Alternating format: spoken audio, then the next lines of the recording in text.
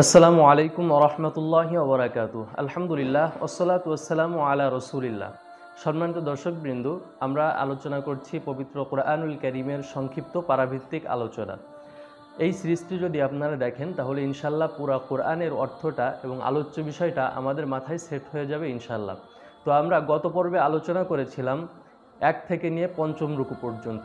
আর আজকে আলোচনা করব প্রথম পাড়ার পঞ্চম থেকে নিয়ে দশম রুকু পর্যন্ত।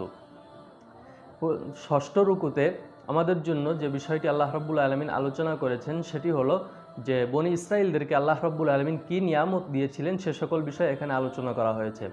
ষষ্ঠ রুকু সাতচল্লিশ নম্বর আয়াত থেকে নিয়ে উনষাট নম্বর আয়াত পর্যন্ত। প্রথমে আল্লাহ রব্বুল আলমিন বনি ইসরায়েলদেরকে তাদের নিয়ামতের কথা স্মরণ করিয়ে দিয়েছেন এবং কী নিয়ামত দিয়েছিলেন? প্রথমত আল্লাহ রব্বুল আলমিন বনি ইসরায়েলদেরকে স্বাধীনতা দিয়েছিলেন। এখানে আল্লাহ রব্বুল আলমিন উল্লেখ করেছেন যে মুসা আলাই হিসালাতামকে ফিরাউনের কবল থেকে কীভাবে মুক্তি দিয়েছিল? ফিরাউন ছোট ছোট সন্তানদেরকে হত্যা করত, মানুষদেরকে হত্যা করত। এই যে যে পরাধীন অবস্থা ছিল। সেখান থেকে বনে ইসরায়েল জাতিকে আল্লাহ রব্বুল আলমিন যে মুক্তি দিয়েছিলেন, সেই ঘটনা আল্লাহ তালা বিস্তারিত ষষ্ঠ রুকুতে উল্লেখ করেছেন এবং আরও উল্লেখ করেছেন যে তাদেরকে স্বাধীনতা দেওয়ার পরে তাদেরকে যখন আল্লাহ তালার ইবাদত করতে বলা হলো, তখন তারা বলল যে আমরা আল্লাহ রব্বুল আলমিনকে দেখতে চাই। আল্লাহকে না দেখলে আমরা ইবাদত করব না। এবং শেষ পর্যন্ত তারা একটি গরুর পূজা, গরুর বাছুরের, গোবৎসের পূজা করা শুরু করল। এই কথাগুলো আল্লাহ রব্বুল আলমিন এখানে উল্লেখ করেছেন।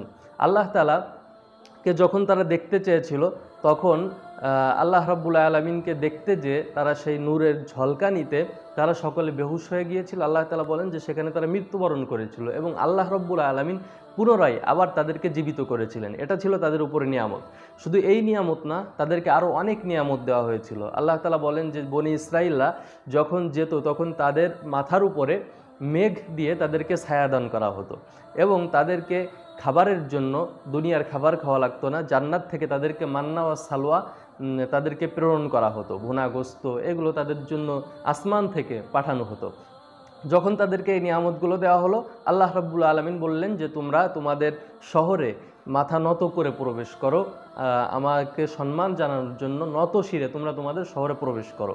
কিন্তু বনি ইসরায়েল কি করল? এত নিয়ামত পাওয়ার পরেও তারা সেই নিয়ামতের সুক্রিয়া আদায় করল না, নত শিরে প্রবেশ করল না। এরপরে আল্লাহ রব্বুল আলমিন সপ্তম রুকুতে, অর্থাৎ ষাট নম্বর আয়াত থেকে এবং ষাট এবং একষট্টি নম্বর আয়াতে আল্লাহ রব্বুল আলমিন বলছেন যে, তাদেরকে আরও একটি নিয়ামত দেওয়া হয়েছিল, সেটি হলো যে প্রত্যেক গোত্রের জন্য, তাদের যে বারোটি গোত্র ছিল বনি ইসরায়েলের সেই প্রত্যেকটি গোত্রের জন্য আলাদা আলাদা ঝর্ণা ধারা তৈরি করে দেওয়া হয়েছিল, সেখান থেকে তারা পানি পান করতে পারত। তাদেরকে এত নিয়ামত দেওয়া হলো, কিন্তু তারা কিছুদিন পরে বলল যে আমাদেরকে যে মান্না সালোয়া প্রেরণ করা হচ্ছে, এটা আর ভালো লাগে না। আসমানের খাবার আর ভালো লাগে না। তাহলে কি ভালো লাগে? আল্লাহ রব্বুল আলামিন সেটা উল্লেখ করেছেন। ওয়া ইদ কুলতুম ইয়া মূসা, লান নাসবিরু আলা তুআমিন ওয়াহিদিন, ফাদউ লানা রাব্বাক ইখরিজ লানা মিম্মা তুনবিতুল আরদ। বনি ইসরাইল বলল যে, হে মুসা, আমাদের এই এক ধরনের খাবার আর ভালো লাগে না। সুতরাং কি করো, তোমার প্রভুর কাছে বলো, যাতে করে আমরা জমিনে যে সকল জিনিস চাষবাস করা যায়, আদা, রসুন, পেঁয়াজ, ডাল, এই সকল জিনিস জন্য আমরা নিজেরাও কষ্ট করে উৎপাদন করে তারপরে যেন আমরা বিভিন্ন ধরনের খাবার খেতে পারি, এই দোয়া তোমার প্রভুর কাছে করো। তো দেখেন, এতগুলো নিয়ামত আল্লাহ দেওয়ার পরেও বনি ইসরায়েলদের এটা ভালো লাগে নাই। এখন নিয়ামতের যেহেতু তারা সুক্রিয়া আদায় করে নাই, তাদের শাস্তি কি হয়েছে? আল্লাহ রাব্বুল আলম সেটা বলে দিয়েছেন যে, এই নিয়ামতগুলো প্রত্যাখ্যান করার কারণে তাদেরকে তিনটি শাস্তি দেওয়া হয়েছে। একটি হলো ইহ বিতুল মিসরা তোমাদেরকে যে স্বাধীনতা দিয়েছিলাম, সেই স্বাধীনতা তোমাদের থেকে ছিনে নিলাম, তোমরা তোমাদের শহর থেকে বের হয়ে যাও। দুই নম্বর শাস্তি দেওয়া হলো, দরিবাতা আলাইহিমুজিল্লা তাদের সাথে অপমানকে জড়িয়ে দেওয়া হলো। অর্থাৎ চিরজীবন তারা লাঞ্ছিত হয়ে থাকবে, অপমানিত হয়ে থাকবে। তিন নম্বর তাদেরকে শাস্তি দেওয়া হলো, ওয়াল মাসকানা, এবং তাদেরকে দরিদ্রতা গ্রাস করে রাখবে, তারা দরিদ্র থাকবে। তো এই তিনটি তাদেরকে দেওয়া হলো। দেখুন, আল্লাহ রব্বুল আলমিন স্বাধীনতা দেওয়ার পরে তাদের যে আদেশ দিয়েছিলেন, সেই স্বাধীনতার পরে তারা সেই আল্লাহর বিধানকে বাস্তবায়ন করতে পারে না এজন্য তাদের স্বাধীনতাকে ছিনিয়ে নেওয়া হয়েছে, তাদেরকে লাঞ্ছিত করা হয়েছে। আল্লাহ রব্বুল আলমিন আমাদেরকেও একটি আদেশ দিয়েছেন আল্লাদিন ইম্মাক্কান্না হুম ফিল আর্দ, আকামুস সালাত ওয়া আতাউজ যাকাত ওয়া আমারু বিল মারুফ ওয়ানহাউ আনিল মুনকার। যে আমি যদি কোনো জাতিকে স্বাধীন করে দেই, তাহলে তাদের উচিত হবে চারটি কাজ। এক নম্বরে সালাত আদায় করবে জাকাত দিবে, সৎ কাজের আদেশ দিবে, অসৎ কাজের নিষেধ করবে। তাহলে এখান থেকে আমাদের শিক্ষা হলো যে আল্লাহ রাব্বুল আলমিন আমাদের যে স্বাধীনতা দিয়েছেন, এই চারটি কাজ করতে হবে। নতুবা বনি ইসরাইলের মতো আমাদের আবার অপমানিত হওয়া এবং এই স্বাধীনতা শেষ হয়ে যাওয়ার সম্ভাবনা আছে। এজন্য আল্লাহ রব্বুল আলমিনের আদেশকে বাস্তবায়ন করতে হবে। এটি হলো সপ্তম রুকুর আলোচনা। সম্মানিত দর্শকবৃন্দ অষ্টম রুকুতে এসে আল্লাহ রব্বুল আলমিন আমাদেরকে কিছু ঘটনা উল্লেখ করে শিক্ষা দিয়েছেন। আমরা প্রথম পর্বে দেখেছিলাম যে আল্লাহ রব্বুল আলমিন বলেছিলেন যে, আমি ঘটনা উল্লেখ করি তোমাদের মাঝে এই কারণে যাতে করে এখান থেকে মুমিনরা শিক্ষা গ্রহণ করতে পারে। অষ্টম রুকুতে আল্লাহ রাব্বুল আলমিন আলোচনা করেছেন, ইহুদিদের মধ্যে যারা ইমান আনবে, তাদের কোনো ভয় নেই, তারা চিন্তিতও নেই। এখানে আল্লাহ রাব্বুল আলমিন একটি মেসেজ দিতে চেয়েছেন যে, কেউ যদি ইসলাম ধর্ম গ্রহণ করে, অন্য জাতির হোক, সে ইহুদি হোক, খ্রিস্টান হোক, কেউ যদি ইসলাম গ্রহণ করে, তাহলে তার কোনো চিন্তা, ভয় কিছুই থাকবে না, বরং সে একজন মুসলমানের মতনই বসবাস করতে পাবে, একজন মুসলমানের মতোই সে সম্মান পাবে। দেখুন, এখানে ইসলাম কতটা উদারতার পরিচয় দিয়েছে। আপনি আগে খ্রিস্টান ছিলেন বা ইহুদি ছিলেন কিংবা হিন্দু ছিলেন, দুই ঘণ্টা আগে আপনি হিন্দু থাকতে পারেন, খ্রিস্টান থাকতে পারেন। কিন্তু এখন আপনি যেহেতু মুসলমান হয়েছেন, সেহেতু একশো বছর পূর্বপুরুষ থেকে একজন মুসলমানের যে সম্মান, আপনি এক ঘণ্টা আগে ইসলাম ধর্ম গ্রহণ করলেও ইসলাম ধর্ম সেই সম্মানই দিয়েছে। এটি ইসলাম ধর্মের একটি বড় উদারতা। আল্লাহ তালা সেটাই এখানে বুঝিয়েছেন।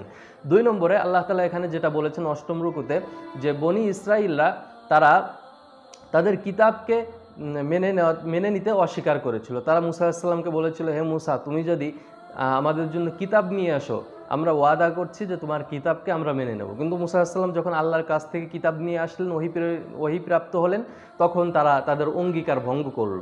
তখন আল্লাহ রব্বুল আলমিন তুর পাহাড়কে তাদের মাথার উপর চাপিয়ে ধরে বললেন যে, তোমরা যে অঙ্গীকার করেছিলে, এই অঙ্গীকার স্বীকার করো, নতুবা তোমাদের কিন্তু এই তুর পাহাড় চাপা দিয়ে তোমাদেরকে মেরে ফেলব। তখন তারা ভয়ে আল্লাহ রব্বুল আলমিনের সেই অঙ্গীকার বাস্তবায়ন করল। তৎক্ষণিকের জন্য, কিছুক্ষণের জন্য তারা এটা মেনে নিল। কিন্তু পরবর্তীতে যে এই বনি ইসরায়েল আবার তারা অস্বীকার করল যে, না, আমরা এটা মানি না। এরপরে আল্লাহ রব্বুল আলমিন আমাদেরকে একটি ঘটনা উল্লেখ করে শিক্ষা দিয়েছেন যে দাউদ আলহিসাল্লাতামের সময় তাদেরকে শনিবারে মাছ ধরতে নিষেধ করা হয়েছিল। কিন্তু তারা চালাকি করল। কি করল? যে শনিবারে মাছ ধরবো না, কিন্তু শনিবারে মাছগুলোকে আটকিয়ে রেখে রবিবারে ধরবো। তারা আল্লাহর সাথে চালাকি করল। এই চালাকি করার কারণে আল্লাহ রব্বুল আলমিন তাদেরকে বানর বানিয়ে দিলেন এবং কিছুদিন পরে তারা সকলে মারা গেল। এটি হলো একটি ঘটনা। দ্বিতীয় নম্বরে আর একটি ঘটনা উল্লেখ করেছেন যে গরুর কাহিনী বনি ইসরায়েলদের গরুর কাহিনী উল্লেখ করে আল্লাহ রব্বুল আলমিন বনি ইসরায়েলদের ভিতরে দুইজন মানুষ মারা গিয়েছিল। তো মারা গেলে কে তাকে হত্যা করেছে, একজন মানুষ মারা গিয়েছে, কে হত্যা করেছে এটা জানা যাচ্ছি না। তখন তারা মুসা আসসালামের কাছে আসলো, মুসা আলাহি সাল্লাতামকে বলল যে, কে মারা, কে মেরেছে তাকে? এটা আমাদেরকে বলো। তখন মুসা আলাইহি সালাতামকে আল্লাহ রব্বুল আলমিন আদেশ করলেন যে, তুমি তাদেরকে বলো, একটি গরু ক্রয় করে জবাই করতে এবং সেই হাড় যদি ওই মৃত্যু ব্যক্তির গায়ে স্পর্শ করা হয়, তখন সে জীবিত হয়ে বলে দেবে যে কে তাকে হত্যা করেছে। এখন বনি ইসরায়েলরা উল্টা প্রশ্ন করল যে, কলা উদুলানা রব্বাকা ইউবাইন লানা মাহিয়া হে মুসা, তুমি তোমার প্রভুর কাছে জিজ্ঞাসা করো যে, গরুটা আসলে কি হবে? কেমন গরু হতে হবে? কোন জাতের হবে? এটা তুমি তোমার প্রভুর কাছে জিজ্ঞাসা করো। তো মুসা আলাহিসাল্লাম প্রভুর কাছে যখন এটা জিজ্ঞাসা করলেন, তারা আবার জিজ্ঞাসা করল কল দৌলানা রব্বাকে উবাইন লানা মা লাউনুহা যে তুমি জিজ্ঞাসা করো তোমার প্রভুর কাছে গরুর রং কি হবে। মুসা আসসালাম যখন গরুর রং বললেন, তারা আবার বলল যে এটা কোন ধরনের গরু হতে হবে, ছোট নাকি বড়, বিভিন্ন ধরনের তারা প্রশ্ন করতে লাগল। শেষ পর্যন্ত প্রশ্ন করতে করতে এমন জায়গায় এসে গরুর বর্ণনা ঠেকলো যে, ওরকম গরু একজন মানুষের কাছেই পাওয়া যাচ্ছিল, তাই ছাড়া ওরকম গরু নেই। শেষ পর্যন্ত গরুর চামড়া পরিমাণ স্বর্ণমুদ্রা দিয়ে ওই গরুটি ক্রয় করা হয়েছিল।